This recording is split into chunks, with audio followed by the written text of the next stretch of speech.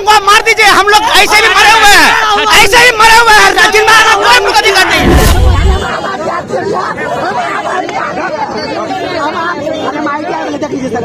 हम I T I वाले तो नहीं रुके नहीं है। हम जाम था तो इसलिए रुके आज छठा दिन है। आज छठी दूध याद दिला देंगे। कान खोल के सुन लीजिए शिक्षा मंत्री जी। कान खोल के सुन लीजिए। नमस्कार मैं हूँ श्रुति आप देख रहे हैं इस वक्त हम लोग पटना के गांधी मैदान में, जहाँ पे जमकर प्रोटेस्ट कर रहे हैं सारे लोग, और आप देख सकते हैं कि कैसे यहाँ पे पुलिस बल भी काफ़ी ज़्यादा काफ़ी ज़्यादा संख्या में जुटे हुए हैं। आप देख सकते हैं यहाँ पे कितने ज़्यादा पुलिस बल है, और यहाँ पे विद्यार्थियों की संख्या देखा जाए तो विद्यार्थियों की संख्या भी काफ़ी ज़्यादा है। आप देख सकते हैं कितने ज़्यादा विद्यार्थी की संख्या चलो देखते हैं, चलिए देखते हैं क्या कुछ मांग रहे हैं, क्या इनकी मांगे हैं। किस बात की है? सातवीं चरण शिक्षक प्राथमिक भर्ती के लिए ये आंदोलन है। अनिश्चित का आंदोलन पर हम लोग एक अगस्त से बैठे हुए हैं लेकिन हम लोग का नहीं सुना जा रहा है। इसलिए हम लोग यहाँ आंदोलन- उग्र आंदोलन कर रहे हैं। हैं? हम लोग विज्ञप्ति लेने के लिए आए हैं। यह आंदोलन का तीसरा आंदोलन का हम लोग को विज्ञप्ति नहीं दे रही है। हम लोग को पूरी तरह से छल कपट किया जा रहा है। हम लोग के भविष्य के साथ खिलवाड़ तो किया ही जा रहा है। साथ में पूरे बिहार राज्य के करोड़ों बच्चों के शिक्षा के साथ खिलवाड़ किया जा रहा है। भविष्य के साथ खिलवाड़ किया जा रहा है। बिहार के भविष्य के साथ खिलवाड़ किया जा रहा है। शिक्षा मंत्री जी आपसे कुर्सी नहीं संभाल रही है। आप इस्तीफा तो दे दीजिए कम से कम। कोई और संभालेगा।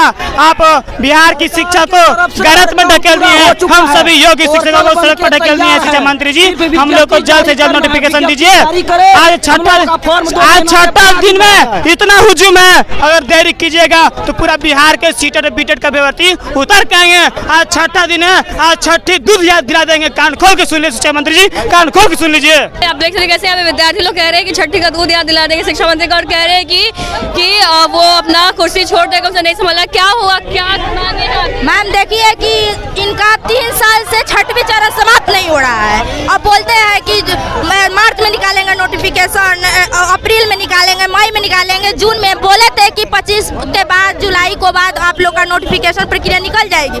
लेकिन 25 जुलाई तो बीत गई, अगस्त आ गया। नोटिफिकेशन का आता पता नहीं है। जब बेटी बचाओ बे- बेटी पढ़ाओ का नारा लगाते हैं शिक्षा मतलब सबका विकास सब सबका बोलते हैं तो ऐसे B Ed D El Ed करके घर पर बैठे लोग सी टेट पास करके जब आगे नहीं बढ़ाना है लड़की को तो क्यों बोलते हैं कि महिला को आगे बढ़ाना है? इस तरह से हम लोग के बहुत बहुत घर में आर्थिक स्थिति ठीक नहीं है जिसके वजह से हम लोग रोड पर आज उतरे हैं। कहना है कि सीटीईटी और बीटीईटी में उनके धांधली की गई है और धांधली नहीं मानी जाती है तो वो सरकार को क्या सरकार सो क्यों रही है? बार बार हम लोग को आश्वासन दिया जा रहा है और बताया हम लोग हम लोग को मार दीजिए हम लोग ऐसे भी मरे हुए हैं ऐसे ही मरे हुए हैं जिनमें आना कोई हम लोग का अधिकार नहीं है। हम लोग कोई फ़ायदा नहीं हो। मर जाएँगे अच्छा है। ज़िंदा होना हम लोग के लिए और कोई हम लोग के और कोई रास्ता नहीं मरने के अलावा। कोई रास्ता नहीं है बचा आखिर बीच कोई रास्ता नहीं बचा मरने के लिए। निकालते हैं कि आप लोग गोली चला हम लोग पर मर जाएँगे बस काम खत्म आखिर नोटिफिकेशन देना कब चाहती है? कुछ कुछ सरकार ये कहते हैं ज़िंदगी खराब हो हाथ खड़े करते हैं हम सातवां सातवां चरण बहाली नहीं ले सकते हैं क्योंकि सरकार जो है सबको बेवकूफ़ बना रही है। हम लोग अभ्यर्थी इतना परेशान हैं और आज इतना हम लोग इतना परेशान हैं कि हम लोगों को पटना आने के लिए सोचना पड़ता है घर में खर्च नहीं। तो आपने देखा कैसे लोगों कहना है कि सरकारी लोगों की मांगे पूरी नहीं कर रही है झूठा नोटिफिकेशन जारी किया गया इनमें कितने ज़्यादा आक्रोश है आप इनके बातों से देख सकते हैं। यहाँ पे तमाम पुलिस प्रशासन ने पहुँची है इनको शांत करने के लिए आप देख सकते हो कि पुलिस बल भी काफ़ी तैनात है और काफ़ी संख्या में यहाँ पुलिस प्रशासन, जितनी भीड़ है, उतनी ही पुलिस प्रशासन है। और इनका कहना है कि इनके साथ धोखा हुआ है, इससे अच्छा इनको मार दे। तो बट, दो बढ़िया है, लेकिन ये लोग साथ धोखा हुआ आप देख सकते हैं, यहाँ पुलिस प्रशासन तमाम को, कोशिश कर रही है कि ये जो विद्यार्थी यहाँ पहुँच के धरना दे रहे हैं, वो शांत हो जाए। अगर आप वीडियो हमारे यूट्यूब चैनल पर देख रहे हैं सब्सक्राइब करना ना भूलें। अगर फेसबुक पेज पर देख रहे हो, पेज को लाइक करें और इस खबर के उन्हें आप क्या सोचते हैं, कमेंट करके हमें ज़रूर बताया धन्यवाद।